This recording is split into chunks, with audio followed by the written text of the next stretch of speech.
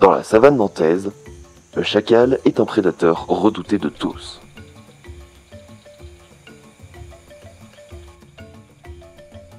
Non loin de là, une famille de micros ne se doute de rien.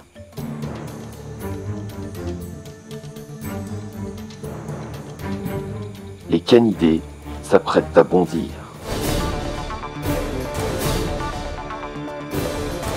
Et franchement, ils ne sont pas très futés. Retrouvez-nous, les chacals sur Utopique, à partir du vendredi 9 septembre à 21h. Utopique, bonne humeur garantie